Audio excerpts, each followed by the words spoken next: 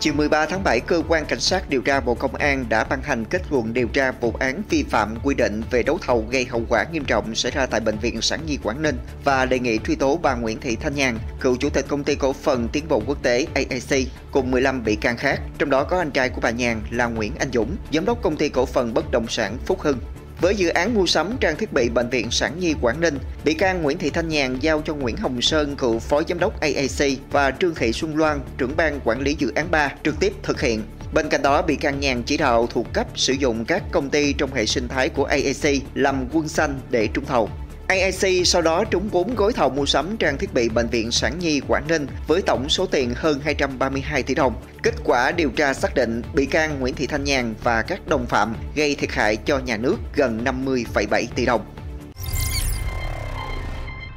Ngày 13 tháng 7, Công an thành phố Đà Lạt, tỉnh Lâm Đồng đã khởi tố bị can đối với Nguyễn Uy Vũ, sinh năm 1984, giám đốc công ty cổ phần xây dựng Lê Nguyễn Lâm Đồng, là đơn vị thiết kế và thi công dự án, cùng Dương Viết Phong, sinh năm 1982, là cán bộ giám sát thi công liên quan vụ án vi phạm quy định về xây dựng gây hậu quả nghiêm trọng trong vụ sạt lở kinh hoàng ở hẻm 36 Hoàng Hoa Thám, phường 10, thành phố Đà Lạt, khiến hai người tử vong. Ông Trần Văn Hiệp, Chủ tịch Ủy ban Nhân dân tỉnh Lâm Đồng cho biết, qua trà soát hồ sơ thì công trình đã vi phạm lộ giới an toàn lưới điện, làm ra ngoài trên giới cho phép, làm ta luy không theo quy định, khoảng cách giữa các ta luy cũng không đúng.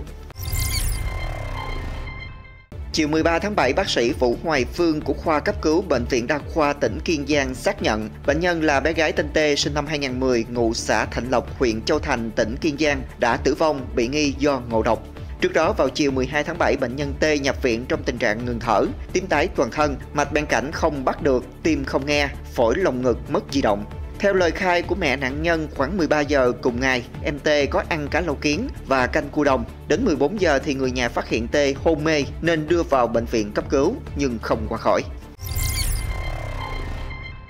Chiều 13 tháng 7, Công an thành phố Hà Nội cho biết thời gian qua tình trạng lừa đảo chiếm đoạt tài sản trên mạng Internet, mạng viễn thông diễn biến phức tạp với các phương thức thủ đoạn tinh vi, nhất là lợi dụng sự thiếu hiểu biết của người dân để thực hiện hành vi phạm tội. Thủ đoạn của các đối tượng là đăng tin trên các hội nhóm Facebook, Zalo với nội dung nhân dịp kỷ niệm 10 năm ngày thành lập, công ty tri ân khách hàng tặng điện thoại iPhone 13 Pro Max và iPhone 14 Pro Max cho khách hàng may mắn và nhanh tay trên toàn quốc. Khi có khách hàng quan tâm, các đối tượng sử dụng kịch bản có sẵn, đóng vai là các nhân viên chăm sóc khách hàng, nhân viên vận chuyển, cán bộ thuế để nhắn tin liên hệ, trao đổi và hướng dẫn khách hàng thực hiện. Yêu cầu khách hàng chuyển tiền đến tài khoản ngân hàng do các đối tượng chỉ định để chiếm đoạt. Nhiều người đã mắc bẫy việc chuyển tiền cho các đối tượng lừa đảo.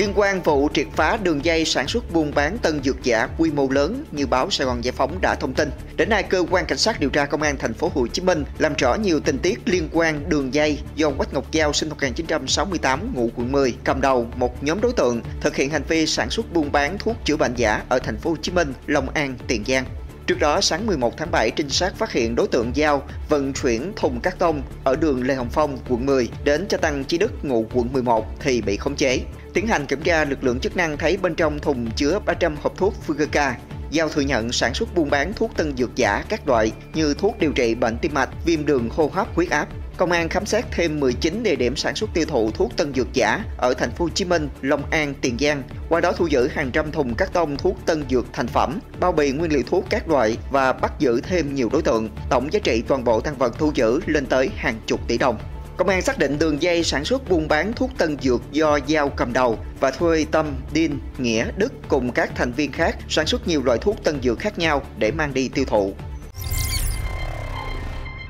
Khoảng 5 giờ ngày 13 tháng 7, đồn biên phòng Sông Trăng phối hợp với công an xã Hưng Điền, huyện Tân Hưng, tỉnh Long An phát hiện một người đàn ông điều khiển xuồng composite lưu thông trên đoạn kênh Cái Cỏ hướng từ Campuchia sang Việt Nam, đoạn xã Hưng Điền có dấu hiệu khả nghi nên kiểm tra. Theo đó phát hiện trên xuồng có chở 7 con heo, tổng khối lượng khoảng 350 kg, trong đó 6 con heo có dấu hiệu lờ đờ, một con đã chết. Người đàn ông khai tên Cha Kim Long, 42 tuổi, trú tại xã Chàm, huyện Công Bông, Tra Bách, tỉnh Treven, Campuchia, vận chuyển số heo để giao cho một người Việt Nam không rõ tên tuổi địa chỉ do chỉ liên hệ bằng điện thoại.